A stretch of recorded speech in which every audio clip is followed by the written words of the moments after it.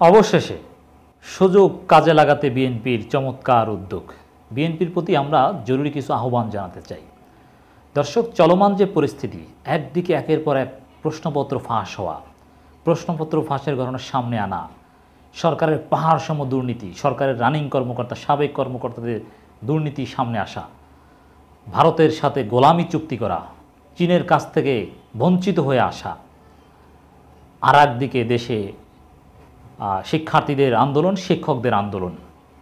এই পরিস্থিতিতে এটা ডেফিনেটলি বিএনপি জামাত যেহেতু সরকারের পতনের দাবিতে আন্দোলন করে সোজা সাপটা কথা, এটা তাদের জন্য একটা সুযোগ। চারোদিকে সরকারের জন্য ব্যর্থতা। সরকারের গোপন অনেক গোমর ফাঁস হয়ে যাচ্ছে। অতএব এই সুযোগ বিএনপিকে কাজে লাগাতে হবে। এই সুযোগে সরকারকে আরও বেশি চাপে রাখতে হবে। এখন যদি বিএনপি দেখে দেখে জাস্ট কথা বলে বিবৃতি দেয়, আর পরিস্থিতি পর্যবেক্ষণ করে, তাতে হবে না। বিএনপিকে মাঠে নামতে হবে। একই সাথে শিক্ষার্থীদের সাথে সরকারের সমীকরণেরও নতুন মোড়। এতদিন শিক্ষার্থীদের বিষয়টা আমরা সেভাবেই বলেছিলাম। একভাবে সরকার ডিল করতো, কিন্তু এখন সরকার সিদ্ধান্ত নিয়েছে যে আন্দোলন ধীরে ধীরে দমন করবে। এবং ছাত্রলীগও হুমকি দিয়েছে যে অলরেডি ট্যাগ দিয়ে দিয়েছে আন্দোলনকারীদেরকে, তারা বিএনপি জামাত, লন্ডনের তারেক রহমান কথা হচ্ছেন। মানে আন্দোলনকারীদেরকে ছাত্রলীগ হেলমেট পরে পেটাতে পারে এবং পুলিশও হুমকি দিয়েছে। সরকার একটু কঠিন সুরে কথা বলছে। এর মানে আন্দোলনকারীদেরকে দমন করার একটা উদ্যোগ সরকার নিয়েছে। এই পরিস্থিতিতে এবং শিক্ষকদের যে আন্দোলন, তাতে তো সরকার ভ্যালুই দিচ্ছে না, সময়ই দিচ্ছে না। শিক্ষার্থীদেরকে মানে পোষ্য তো পোষ্য শিক্ষক, আওয়ামী লীগের অঙ্গ সংগঠনের মতো কাজ করেছে না এই শিক্ষকরা, এজন্য তাদের চারানার দাম দিচ্ছে না।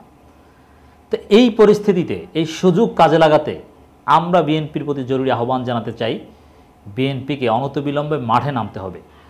শিক্ষার্থীদের যদি হামলা করা হয় শিক্ষার্থীদের উপর, সেই হামলা ঠেকাতে বিএনপি জামাতকে রাজপথে নামতে হবে।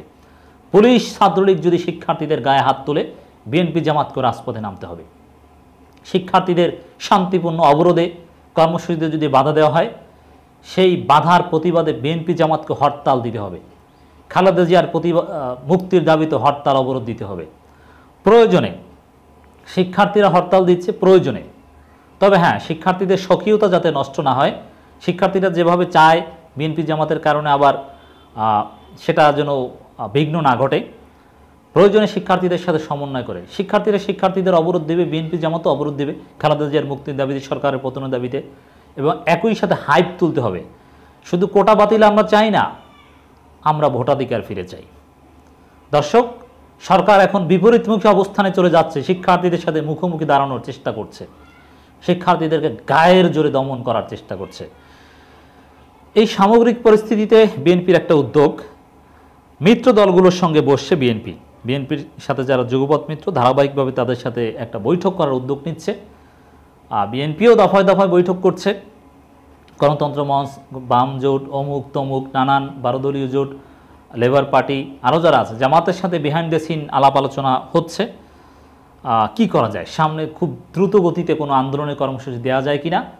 বা এই পরিস্থিতিতে করণীয় কি? যুগপথ কবে থেকে শুরু করা যায় বা কোনভাবে করা যায়? এবং তারেক রহমানও ব্যক্তিগতভাবেও বিএনপির মিত্র বা বিএনপির দল বা বিএনপির মিত্র দল কিংবা বিএনপির বিভিন্ন পর্যায়ের সাংগঠনিক নেতৃবৃন্দের সাথে আলাপ আলোচনা করছে। এবং বিএনপির মিত্র যারা আছে, তাদের সাথে তারেক রহমান আলাদাভাবে বৈঠক করবেন ভার্চুয়ালি মোটের উপরে দ্রুত সময়ের মধ্যে মাঠের আন্দোলন শুরু করার জন্যে। আন্দোলন তো মোরাললেস চলছে, বিএনপির নিবুনুবু আন্দোলন বা একক আন্দোলন চলছে, কিন্তু যুগপথভাবে সবাই মিলে মাঠে নামার একটা চেষ্টা বা একটা উদ্যোগ বিএনপি নিচ্ছে, কিন্তু বিএনপি খুব স্লো এই জন্য বিএনপিকে আমরা বিএনপির প্রতি আহ্বান জানাই জরুরি ভিত্তিতে যে না, এত স্লো হলে হবে না, খুব সুইফট হতে হবে। দ্রুত গতিতে বিএনপিকে এখানে রেসপন্স করতে হবে। বিএনপিকে উদ্যোগ নিতে হবে। আর আপনার এই সময়ে এই যুগপথ অমুক তমুক এগুলো না করে বিএনপি জামাত সহ আরও যারা আছে, তেষট্টি দলীয় বারো, বাষট্টি দলীয় মেগা জোট গ্রান্ড জোটের ঘোষণা করেন। জোটগতভাবে আন্দোলন হবে।